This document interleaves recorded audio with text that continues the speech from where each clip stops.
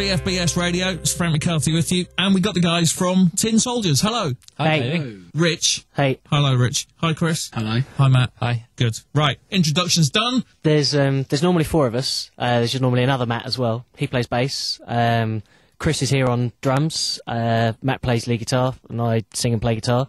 Everyone sings as well, so we have loads of backing vocals. Um, and we formed the band about November 2007. Oh, so not that long ago. That's, that's quite impressive considering uh, where you are musically. Can I just point out that if you go and have a look at the video to it on your MySpace page, which I did earlier, the blonde girls at the front, oh, We, we never noticed You're at the time. No. we, we were concentrating on the music, they were, they were honestly. in a they were in more of the video than us, I think. They probably are. yeah, but have you seen you lot? well, thank you. oh, it's, it's, it's good video actually. And uh, why not? okay, so your next song, Just what I needed. It's We, my favourite song. It's your This favourite. It's Chris's favourite song. Yeah. Are they totally different? The rock version Yeah, and this is Oh, very absolutely, different. Very different. Yeah, you can uh, you can check it out on, on the YouTube at the moment. Okay. So if you just type in the Tin Soldiers. and on you can, MySpace as well. And on MySpace, yeah. But that, you know, I love the rock version. But this is a nice little, little nice little take. I won't ask you what it's about. I won't tell you. So,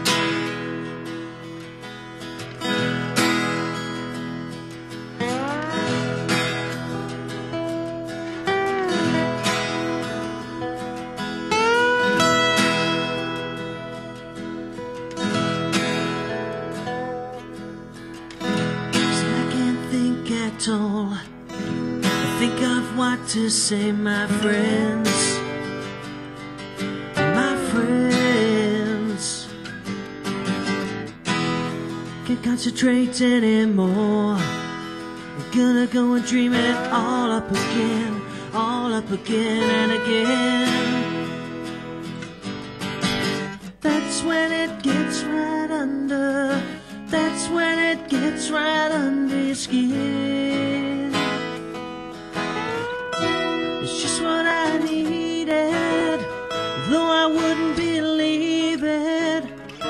It's just what I needed today. I can't see much better now. I got my head in a spin. Every way I win. It's just what I needed today. I feel it on the inside.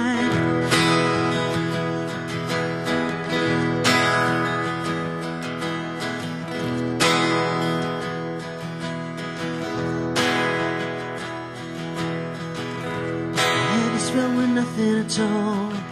There's nothing good to say what I mean, my friends.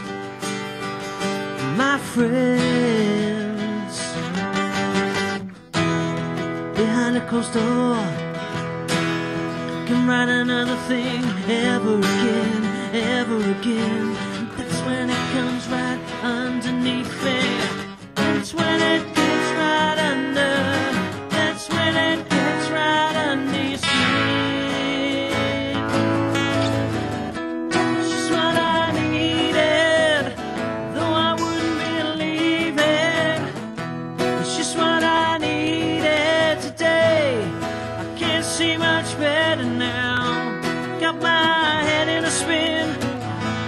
And